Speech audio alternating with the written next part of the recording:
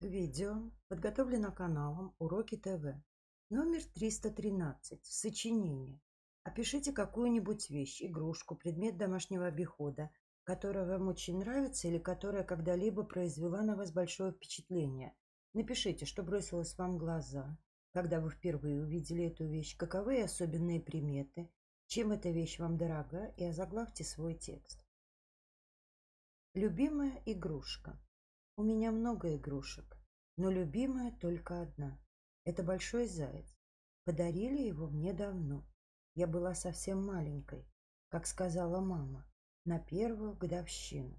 Еще мама вспоминала, как я садилась к зайцу, уютно устраивалась у него между лапами и часами сидела, рассматривая картинки в книге или играя с другими игрушками. Я и сейчас люблю устроиться между больших лап зайки. Мне кажется, что он меня ласково обнимает. От этого становится тепло и уютно. Откинувшись зайцу на живот, можно читать книги. Это мое любимое занятие. Или смотреть телевизор. Заяц в этих случаях, как спинка кресла. Только от моей игрушки исходит какое-то тепло, как будто прислонился к теплой батарее.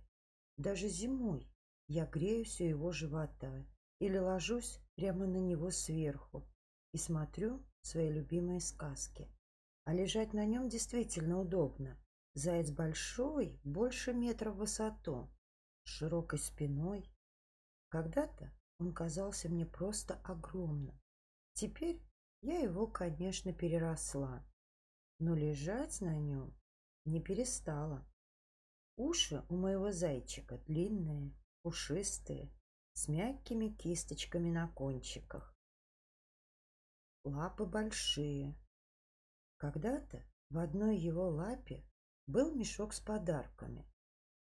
Помню, как мне всегда хотелось узнать, что он принес. Я была тогда с него ростом. Я часто тянула мешок к себе, но забрать его никак не могла.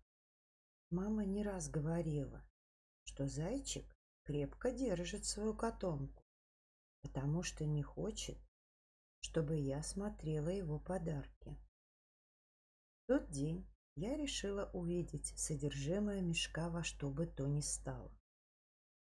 Я взяла у мамы ножницы и просто его отрезала.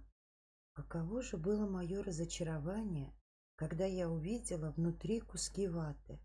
Я долго сердилась на зайца и не подходила к нему, потому что считала, что он перепрятал подарки, лишь бы не делиться со мной.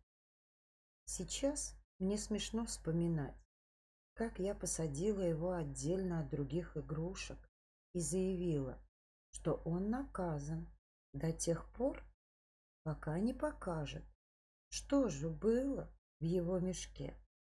За много лет мой зайчик уже не выглядит так нарядно, как раньше.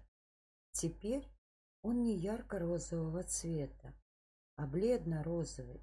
Пушистая шерстка кое-где повытерлась или скаталась. Жилет и штанишки поистрепались. В нескольких местах зайчик порвался, и я зашивала своего друга. Но мой зайка все равно мне дороже самых новых и самых красивых игрушек.